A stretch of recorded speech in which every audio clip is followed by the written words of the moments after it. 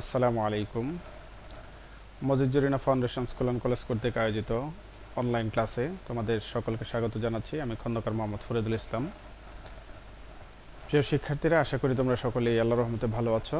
আমি তোমাদের দোয়ায় আল্লাহ রহমতে ভালো আছি। প্রিয় শিক্ষার্থীরা,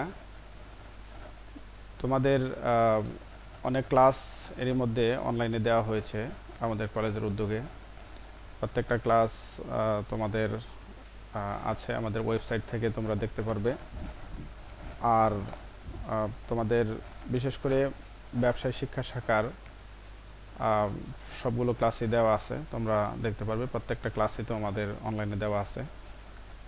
তোমরা দেখে নিতে পারবে।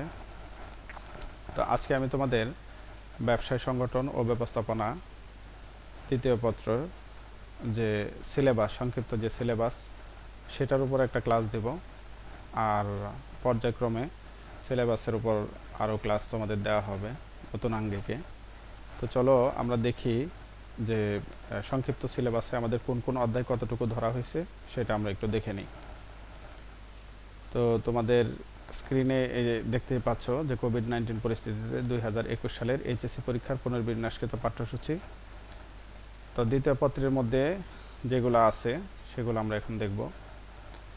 যে প্রথম অধ্যায়, ব্যবস্থাপনার ধারণা, এখান থেকে যে ব্যবস্থাপনার ধারণা, এরপরে উৎপত্তি ও ক্রম বিকাশ, এরপরে যে ব্যবস্থাপনার গুরুত্ব, কার্যাবলী, ব্যবস্থাপনা চক্র, আওতা ব্যবস্থাপনার বিভিন্ন স্তর পেশা কিনা, এরপরে ব্যবস্থাপনা সার্বজনীনতা ব্যবস্থাপনার নীতির ধারণা, মৌলিক নীতি বা আদর্শ আদর্শ ব্যবস্থাপকের দক্ষতা। তারপরে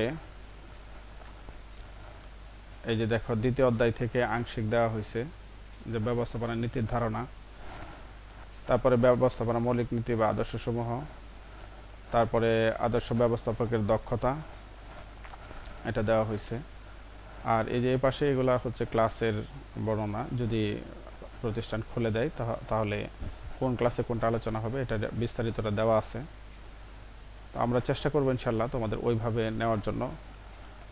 তারপরে দেখো যে মূলত আমাদের প্রথম অধ্যায়, দ্বিতীয় অধ্যায় দ্বিতীয় অধ্যায় আংশিক দেওয়া হয়েছে। এরপর তৃতীয় অধ্যায়, পরিকল্পনা, প্রণয়ন, সিদ্ধান্ত গ্রহণ, এখান থেকে আংশিক দেওয়া হয়েছে। এটা দশম এবং একাদশতম ক্লাসে আলোচনা করা হবে। তো এখানে যে বিষয়গুলো রয়ে গেছে, এরপরে হচ্ছে ধরো এখানে তৃতীয় অধ্যায় থেকে যে বারোতম ক্লাসে পরিকল্পনা, প্রণয়নের ধাপ প্রকারভেদ গুরুত্ব, উত্তম পরিকল্পনা, বৈশিষ্ট্য তারপর চতুর্থ অধ্যায় থেকে যেগুলো ধরা হয়েছে, দেখতে পাচ্ছ। আমি তোমাদের এগুলা স্ক্রিনে রেখে দিচ্ছি, তোমরা চাইলে পোস্ট করে তারপর এখান থেকে দেখতে পারবে। হুম পজ করে দেখে নিতে পারবে। তারপরে পঞ্চম অধ্যায়। মূলত চতুর্থ অধ্যায় সম্পূর্ণটা দেওয়া হয়েছে, পঞ্চম অধ্যায়, তারপরে ষষ্ঠ অধ্যায়, নেতৃত্ব। তারপরে দেখো যে ষষ্ঠ অধ্যায়েরও আংশিক দেওয়া হয়েছে কিছু। এখান থেকে আমি যতটুকু দেখেছি যে এখান থেকে দু একটা টপিক বাদ দেওয়া হয়েছে, তোমরা বইয়ের সাথে মিল করে দেখতে পারো। এই যে এখানে ষষ্ঠ অধ্যায় নেতৃত্ব, নেতৃত্বের ধারণা, গুরুত্ব, তারপরে প্রকারভেদ আদর্শ নেতার গুণাবলী, কার্যাবলী, নেতৃত্ব বিকাশের সমস্যা দূরীকরণের উপায়। তারপরে চলে গেছে ষষ্ঠ অধ্যায়ের পরে সপ্তম এবং অষ্টম অধ্যায়, নবম অধ্যায় কিন্তু নাই। দেখো দশম অধ্যায়ে চলে গেছে। একেবারে নিয়ন্ত্রণ। তো নিয়ন্ত্রণের ধারণা, নিয়ন্ত্রণের বৈশিষ্ট্য, তারপর হচ্ছে নিয়ন্ত্রণের গুরুত্ব। এখান থেকে আংশিক দু একটা টপিক বাদ দেওয়া হয়েছে, তোমরা এগুলো দেখে নিবে। তারপরে এই যে নিয়ন্ত্রণের পদক্ষেপ এবং নিয়ন্ত্রণের নীতিমালা। এরপরে দেখো, এখানে একটা গুরুত্বপূর্ণ বিষয় উল্লেখ করা আছে যে, মান বন্টন হবে বর্তমান প্রচলিত প্রশ্নের পত্রের ধারা ও মান বন্টন অপরিবর্তিত থাকবে। তার মানে কি?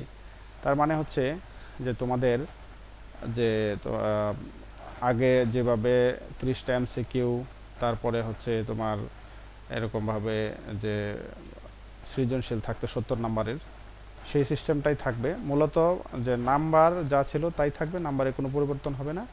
জাস্ট হচ্ছে যে তোমার এখানে যে প্রথম থেকে এরকম ষষ্ঠ অধ্যায় পর্যন্ত হ্যাঁ তারপরে হচ্ছে যে তোমার ষষ্ঠ অধ্যায়ের পরে একদম সপ্তম, অষ্টম, নবম অধ্যায় বাদ, তারপর দশম অধ্যায় চলে গেছে। তো এটা আমি তোমাদের এই যে এখানে, এই যে পঞ্চম অধ্যায়টা দেখো। পঞ্চম অধ্যায়টা আবার একটু স্ক্রিনে আনতেছি, কারণ পঞ্চম অধ্যায়টা দুইটার মধ্যে ভাগ করা। হ্যাঁ এই যে পঞ্চম অধ্যায়ের প্রথম শেষের অংশটুকু, এইটা। কর্মী সংস্থান ও মানব সম্পদের ধারণা, কর্মী সংগ্রহ।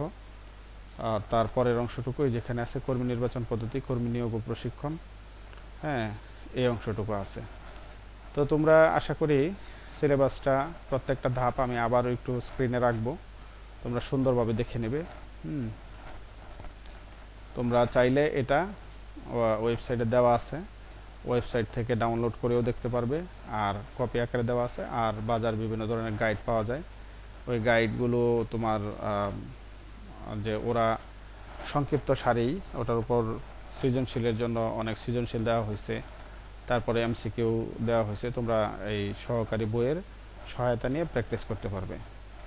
তো তোমাদের প্রতি আমার একটা নির্দেশনা বরাবরই যেটা থাকে, যে আসলে পড়ার কোনো বিকল্প নাই, তোমরা ছাত্রছাত্রী, তোমাদের পরিচয় একটাই, যে তোমাদের এখন লেখাপড়া করতে হবে। লেখাপড়ার কোনো বিকল্প নাই, বাসায় যথেষ্ট পরিমাণ লেখাপড়া করবে। আর এখন থেকে পর্যায়ক্রমে যে প্রথম পত্র, দ্বিতীয় পত্রের উপর যে ক্লাস দেওয়া হবে, সংক্ষিপ্ত সিলেবাসের উপর আসলে সংক্ষিপ্ত সিলেবাস তো দেখা গেছে দু একটা টপিক বাদ দেওয়া হয়েছে। যেখান থেকে বাদ দেওয়া হয়েছে দু একটা টপিক মূলত অধ্যায়গুলো বাদ দেওয়া হয়েছে। সপ্তম, অষ্টম, নবম অধ্যায়। এগ- এগুলোর উপরে হয়তো বা তোমরা যা প্র্যাকটিস করেছ ক্লাস না দেখলেও চলবে। কিন্তু এছাড়া যে ষষ্ঠ অধ্যায় পর্যন্ত প্রত্যেকটা ক্লাস আগেও দেওয়া হয়েছে, এগুলো প্রায় হুবহুই থাকবে। কিছু চেঞ্জ আছে। তো এই চেঞ্জিং সিলেবাসের পরিবর্তিত সিলেবাসের উপরে তোমাদের আরও ক্লাস দেওয়া হবে। তো তোমরা আশা করি প্রত্যেকটা ক্লাস দেখবে এবং ক্লাস দেখে ক্লাসের মধ্যে যদি কোনো বিষয় বুঝতে সমস্যা হয়, অবশ্যই কমেন্ট বক্সে জানাবে। হ্যাঁ আমি চেষ্টা করব পরবর্তী ক্লাসের মধ্যে তোমাদের এই সমস্যাগুলোর সমাধান দেওয়ার জন্য। তো আজকের মতো এখানে শেষ করব। সবাই ভালো থাকবে, আশা করি। আর আল্লাহ তালার কাছে দোয়া করি, আল্লাহ তালা যেন অচিরে আমাদের এই করোনা মহামারী থেকে পরিত্রাণ দান করেন। তো সামনে রমজান মাস আগত হয়তো বা কালকে পরশু থেকে রমজান শুরু হবে। তো আশা করি সবাই রমজানের রোজা রাখবে। আর অন্যান্য ধর্মের যারা আছো, তারাও প্রত্যেকে ধর্মীয় কাজগুলো করবে। কারণ একমাত্র সৃষ্টিকর্তা যিনি আমাদের সৃষ্টি করছেন, পৃথিবীর সৃষ্টি করছেন, তিনিই পারেন একমাত্র আমাদের এই মহামারী থেকে মুক্তিদান করতে। আর যারা অসুস্থ আছে, তাদের সুস্থতা কামনা করি। আর আমরা যারা আছি, সুস্থ আছি, আল্লাহ তালা যেন আমাদের সুস্থ রাখেন এবং আমাদের সেই চেষ্টাও করতে হবে যে সমস্ত নিয়ম কানুন মেনে, আমাদের মানে স্বাস্থ্যবিধি মেনে সচেতন মানুষ হিসেবে চলতে হবে ভিড় এড়িয়ে চলতে হবে।